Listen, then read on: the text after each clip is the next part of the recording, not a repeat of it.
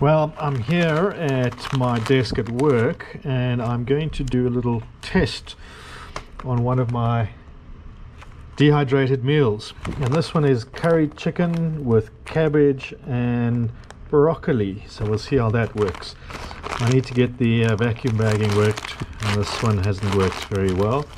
But what I'll also add to it is some MCT uh, powder, which is uh, powdered oil and uh, you can't dehydrate meats very well if they've got any fat in it. So that is to add the fat for later.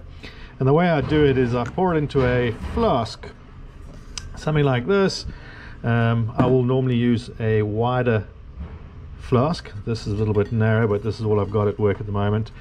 And pour boiling water fill it up to just just the same level as the dehydrated food and then I will seal it and leave it for about 20 minutes. And what happens that with the temperature the boiling water creates a little pressure in here and that seems to assist with the rehydration of the food. So yep let me get going with this one and uh, see what we can do. So a vacuum bag inside of a vacuum bag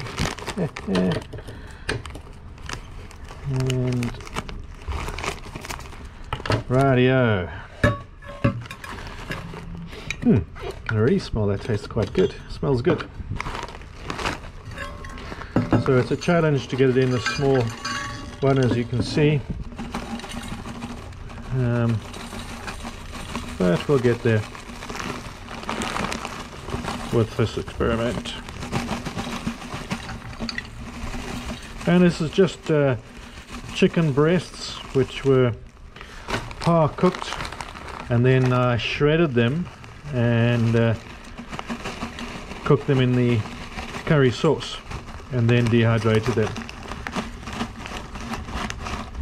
The cabbage, just plain cabbage chopped up into strips and then goodness gracious there we go what a mess I've made Oh, on my desk.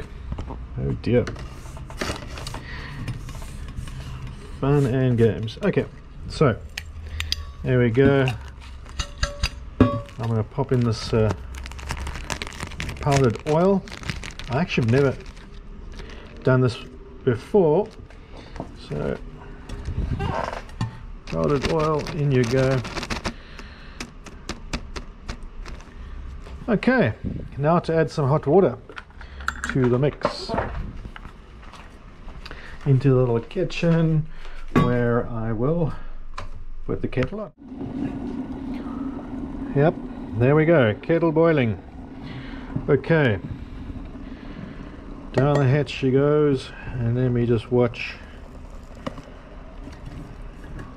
I'll visually inspect and see oh I can smell the cabbage already that's it no more than that. And quickly put the top on. And there's my top. And that's it. All in. Shake it around. And I'm just going to leave it. We'll see what it looks like in a moment. Okay it's been about 20 minutes um, since we put the hot water in. Let's uh, see what happens when we open it. There you can hear the pressure that has built up. Um, I have been shaking it around so oh oh it smells delicious. I do have to say even if I say so myself. Right let's uh, okay so it was cauliflower and a broccoli uh, mix in there. Well, this is the problem with the uh, narrow mouth uh, flask. But wow, it's actually quite a large portion. Goodness gracious. Sheepers, that's a lot of food. I don't know if I'm going to eat that all now. Okay, so, and again with a large mouth flask, I will be able to clean it a little bit easier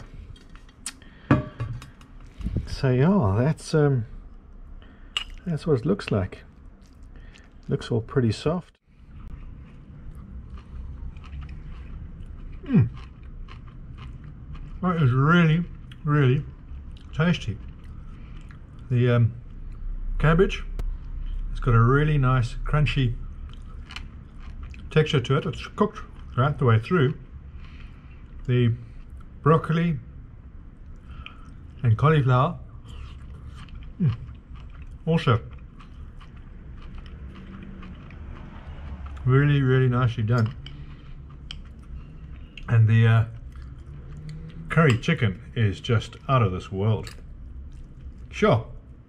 And check out the size of that portion. It's massive. Lovely. This is going to be great. Need to make some more of this